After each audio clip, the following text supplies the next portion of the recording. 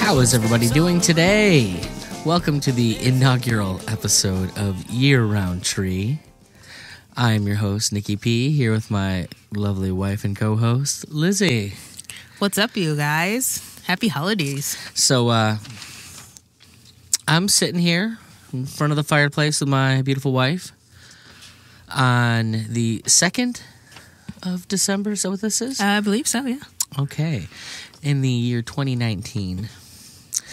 Um, I have a cognac and eggnog because it just seems like the thing to do and trying to feel festive. Is that what's in there? No, no, I'm drinking both. Oh, okay. I don't like anything in my eggnog. I just like the sweet so sugary you're just double fisting. That's generally how I live my life is double fisting, Liz. so we're both here in our Christmas sweaters. Yes, I really like what you've got going on there. Is that is that Mrs. Claus as a as a mud flap girl? It is absolutely Mrs. Claus as a mud flap That's girl. impressive. Um, I really like yours, where it's a fuzzy snowman, but each of the snowballs is a pom pom over your respective bosoms. I thought it was fun. It's it's something. It draws attention to your chest. I mean, you know, you know, not to say that your chest doesn't draw enough attention, but might as well. so we started this podcast because we're both insane and obsessed with Christmas, and the name "Year Round Tree" is not not exactly a euphemism for us. We literally have a tree up year round. We do. We change what's on it for the seasons and Yeah, the, yeah. the holidays. There's generally one holiday a month that we can kind of rearrange it for, Yep, but we do have seasonal skirts. we do. We we go all and out. I think part of the idea is that uh, maybe Christmas was different for us when we were kids. This is true. Um, Irma, you know, we talk about it with her. I don't think she realizes how weird it's going to be. She's a homeschool kid, so luckily she'll never have to probably deal with too many kids asking her why you have a Christmas tree up. What the heck is that about? Um, but I have actually definitely in the course of preparing for some Christmas programming that I'm going to be doing this summer or this uh, not summer this uh, winter with my partner Don and Pelcone and Co.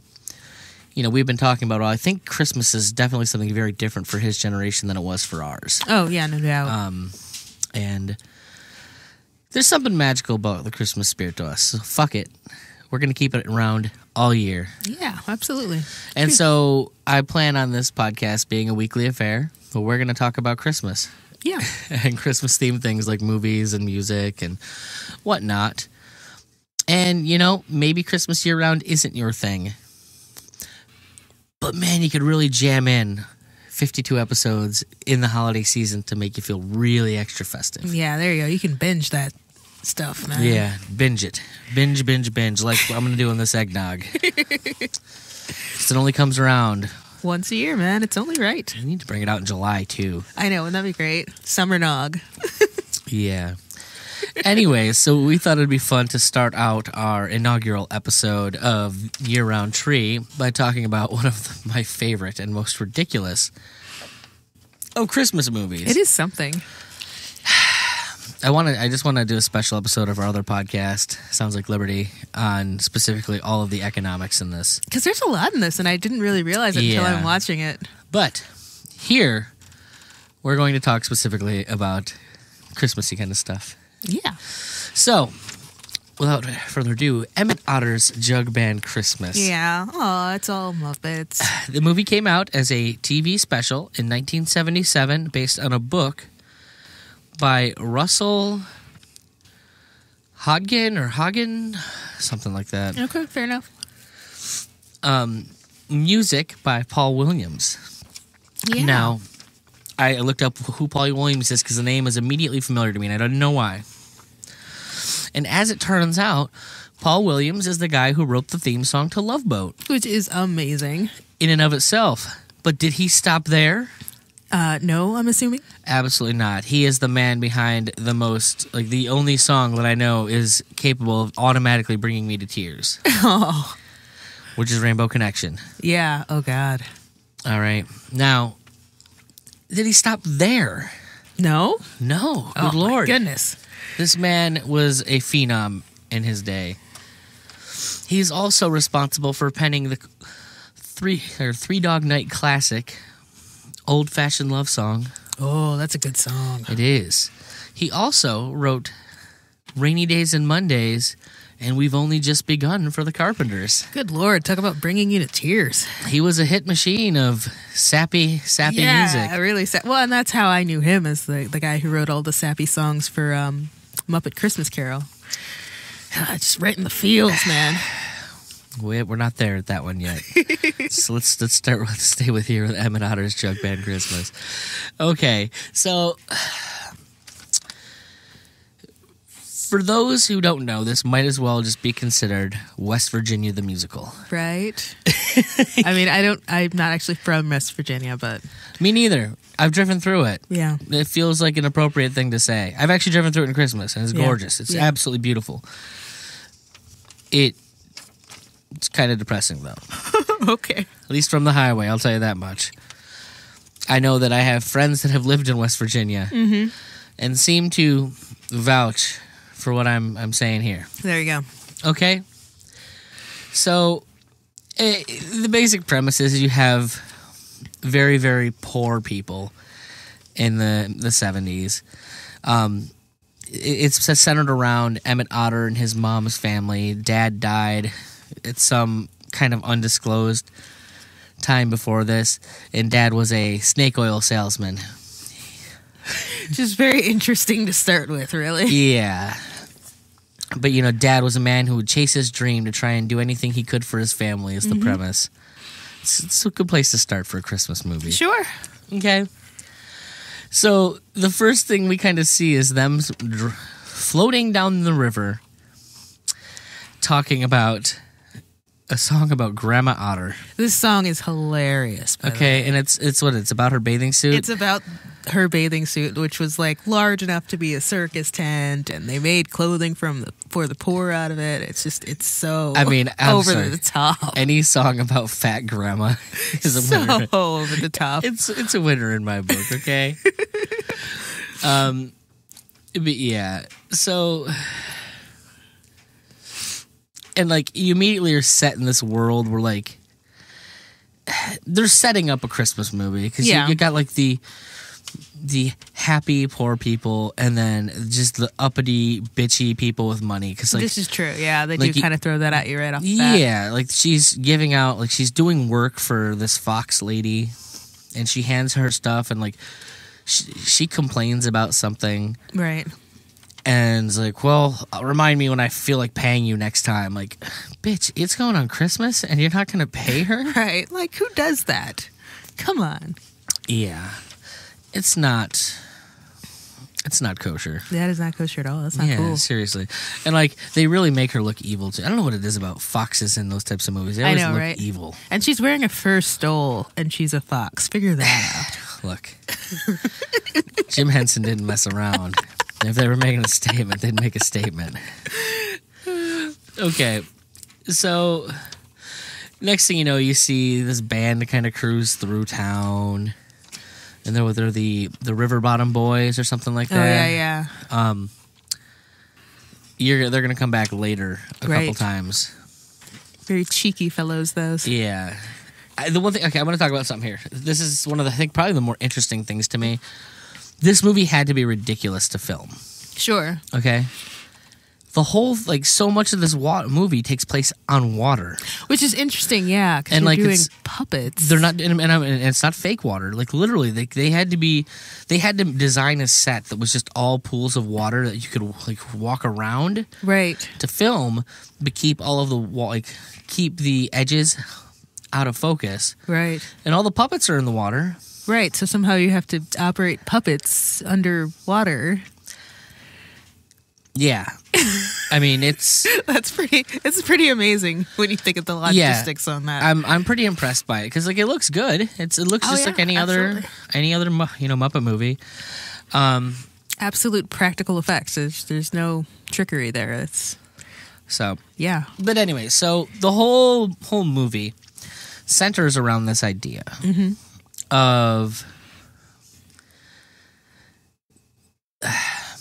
they're gonna both try and win a music contest to do something nice for the other one, both Emmet and his ma, For Christmas.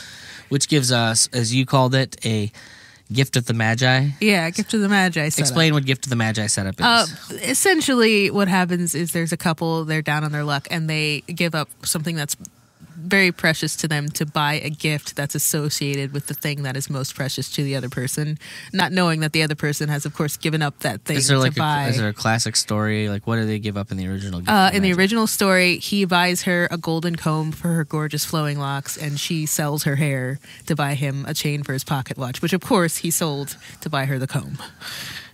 yeah. Yeah. So let's just say we're we're we're setting everyone up for a lot of a lot of defeat. right. The whopping fifty dollar prize money that is Right. going to save them Yeah. and really change their lives. That's that's an economics lesson right there. So, yeah. So what ends up happening is, in order to do this, Ma decides she has to sell the tools that Emmet uses to go out and make money by mending fences and things like that. They're also at the emotional angle, they're the last thing of their of his father's that they haven't sold to make ends meet. They've already sold everything else. Yeah. Now, Emmet, in an effort to win this contest, he's talked by his friends into starting a jug band. Okay? Right? So, mom can't get a dress without selling the tools, so she can go and be look pretty in front of the people. Emmet's jug band needs him to drill a hole in the wash tub. That she uses to do laundry work. Yes, which is how she makes money, Right.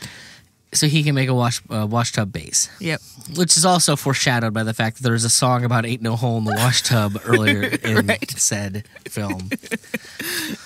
But regardless, they both decide that this year they want to do something special for one another. Right. And they go ahead and both of them get rid of the other's means to Yeah. make money. To take that chance. They're making some bold moves, folks. Yeah. Will it pay off? It's Jim Henson Christmas movie, of course it pays off. I mean, you know. but not without throwing a lot of roadblocks in the way. They do. Okay, so there's a fun little moment I thought was fun. So when they go out and get the tree branch, Yeah. Aw. they don't cut down the whole tree because Dad could never cut down a whole tree. He just cut off a branch and he go, "Well, because I chose to only take this branch, it's gonna be here in a hundred years." Just very cute to see like a little puppet guy doing an impression of his dad. It is. It is freaking hilarious. He's doing an impression of his dad. Oh God. Okay. I know we talked about it. We talked about the Grandma Otter song. Yeah. Oh yeah. Okay. The next song that they come up with is so classic bluegrass. Oh yeah. And I love it. It- Yeah. It's barbecue. Yeah. Oh good lord. And it's just It's about barbecue, down it- home cooking, and well, it's it's just the quintessential like it literally reminds me of Eat at Joe's from A Mighty Wind. nice. I'm just imagining like that that classic. Yeah. Wow, what is it with about bluegrass people talking about restaurants? I don't know. I mean, food is a Crappy thing restaurants with good food. part of Southern hospitality or something. I guess. so, anyways, um, in both cases, like they're doing these things that are literally going to make it so they can no longer function and live in society. Right. Right. And what are we going to do if we don't win? Yeah. Like each of their their respective crews are asking them, Yeah. and there's there's never a question in their mind. Right. Like We've we just, just, gotta. yeah. There can be no plan B. In other uh, words, gutsy. we already know that they're not going to win either of them. They've already set that up. The Right. fact that they have to win means they can't win. right. Or else it's not a Christmas miracle. yes, we need Christmas miracles. Okay. The next thing that comes up is we've we've seen these River Bottom Boys a couple times. Right. Right. And this is something I don't I don't know if it's something I think of from Christmas movies or just in general. Mm-hmm. But you have the main bully in any crew Okay. is almost never really a bully. He's just kind of snarky. No, he's just cool. Oh, okay. Because if you take note, it's always the beta guys that do all the actual bullying. Interesting. Oh, I see. So he's just like we're gonna do this, and the guy's like, yeah, I'm gonna do this. Like, if you take note, like the wolf guy that leads the Riverbend Boys, whatever they are, River Bottom Boys, does he ever say anything other than let's then let's go, let's roll out? yeah, no, not really. That's true. No, he only ever says let's go do this thing. Yeah. and sometimes contrary to what his crew is trying to do, Yeah, they're just trying to be pricks to impress him. right. Oh, I Now I want you to, and I want you to take note. Think of bullies, classic bullies Mm-hmm. in movies, that- in TV shows. The the big one that comes to mind is uh, Boy Meets World. Okay. He wasn't much of a bully. Like it's No, there's more yeah. of a mystique that makes them a bully, Yeah. This is and and it's like the people around them trying to impress them that really do the bullying. yeah. Like the whole alpha, it, it, it's the beta you got to worry about. The alpha is the one who's just going to be him and do what he does. The guy with something to prove. Yes, exactly. I thought that was an interesting because it's it's, interesting. It's the pricks hanging out with the guy. Like he just seems pretty cool. Yeah. Which, if I had a band that sounded like Deep Purple, I'd be pretty cool too. I mean, right? Yeah, sure. all right. So let's see here. We have um, they get to the actual contest, okay? Mm-hmm. And there's a bunch of acts. The second act comes on, and what happens? Oh, they're, they're doing the uh, the song. yeah, the second act comes on, and this dude was yokel with a banjo comes out and does the song that they're gonna do. Yeah. So now we have a last minute sock change. They've gotta How are they gonna it. get past this? Like, Yeah. they, they've got to win. Yeah. And now, yeah, they now they have to change up the entire thing of like they planned on doing, and they did all that rehearsing for nothing. Because they can't go and do the same song this other guy did, and it's all, and it's salty because he did a crappy version of it. He did. He It's did. hilarious for the sake of the movie, but Yeah. but he did a, a crappy version of their songs. Like now they have a great version of, it, but they can't do it because somebody else chose their material. Right. So they're out. They get a couple minutes to like, Throw something together. and they barely throw it together before they go, "Hey, what the heck, what the heck are you guys doing out here? Right, Get back in here." Slow down the production. Yeah, we're Let's gonna go. make this production work, and you're not you're not making that happen. So get on in here, boys. Okay. The most cliche thing ever. Obviously, there was going to be a last minute song change because Of course. we, we have to put as many roadblocks as we can into this into this premise. All right. Um, so they come out and they do "Almost Brothers" is the name of the song. Okay. Which is a nice little ditty. It is a nice little. ditty. By the way, incredibly impressively tight for they just threw this together and Right, didn't yeah. actually even rehearse it, as far as you can tell in the movie. They must Like, have known the song or They're something. making it up on stage, I really think, and I just mean- happen to be completely in tune. You know, it's a Christmas movie thing. Yeah. so, you know, while this is going on, like they, mom just went up and sang her song. Um, in uh, is it our world? Our world, which is real and nice. it's beautiful and gut wrenching and all those things you expect it to be. Okay, And she's got one of those songbird voices, so it's real nice. And they're just, It is. It's it's fun. yeah. Okay. Now, if you've seen this movie a bunch of times like I have, you do notice there is an interesting structuring between both those songs that are performed. Yeah. It seems eerily similar. Right, right. Okay. we'll come back to that. though. Right. Yeah. So they're they're oh, thinking, oh great, we killed it. We're about to win. Yes. And then the fox again, this is a different fox, comes out and he's like, Oh, wait, normally we wouldn't allow a last minute entry, but these boys traveled so far, we just have to let them. and who is it but those dang River City boys? Those, those River Bottom boys with Yeah. their the River Bottom Nightmare Band, Yeah. whatever it is. And so they come out and they sound like Deep Purple and they're freaking awesome. like, what are you going to do? like you can't argue it's all that. crazy in 70s psychedelic and Yeah. colors everywhere and oh my goodness it's There's great. no competing with that. Come on. yeah they they kind of deserve to win it was sweet Yeah. But that is a nightmare for our, our yes, heroes. it is absolutely a nightmare for our two little otters that tried so hard Yep. to win all right and as you figure they do win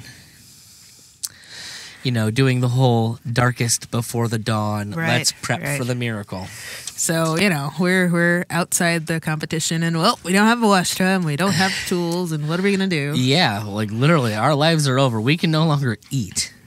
We have made it so that our lives cannot continue as they have, and they weren't very good lives to begin with. And we've made even that meager existence impossible. Yep. So what happens? What is our Christmas miracle is? This is going to be your part of the show, I think, because you're going to be the Christmas miracle person. What else can you do in a moment like that but sing a song? Well, we should we should probably say, Mr. Toad owns a local local eatery. Comes up and is like, "Well, you were both really good, but I think you were just missing something." Listen, just a little something. And all of a sudden, Ma gets this wonderful idea to combine both songs, oh, explaining why Oh, they both sounded eerily familiar when you were listening to them Yep. the first time. You're like, huh, doesn't their song sound good? And apparently, the boys' song is just the backing vocals to Mom's song. And all of a sudden, you got a little something special. yeah, they have whatever that thing that they were missing. Yep. And so Mr. Toad comes up and he offers them a job. At his eatery. Yep, and mom. And- And, he, by the way, even, mom, even in this moment, is like, I mean, is it gonna? Are we gonna get paid regular if we play regular? And he's like, I'm- well, I'm, I'm kind of like, bitch, just take the job. I know, right? You don't have a lot of options here. yeah. So And they can start tonight. yeah, What do you know? yeah, exactly. so Christmas miracle is somebody walks up and hands them jobs after making a lot of horrible life decisions. Kind of. Yeah. But I think that is probably at its core, maybe the Christmas miracle. Um, one of my fa- one of my favorite Christmas movies. It is genuinely like heartwarming and yeah, it's, it's a very- really charming film. very very well done. Um, what do you think, Liz? I mean, yeah, it's. I think it's great. I think it's worth watching, absolutely, and uh, it's got a lot of fun points. But it, it's really a heartwarming one. It's not you know crazy off the wall kind of Christmas. It's it's warm fuzzy Christmas miracle kind of Christmas. Yeah, But it's a good one. I like it a lot. so, anyways, folks, I think we're gonna call it right there. I don't want to make these too long. This is just something fun for me and Liz to talk about Christmas because we love Christmas. Um, take it easy. We'll talk to you next week.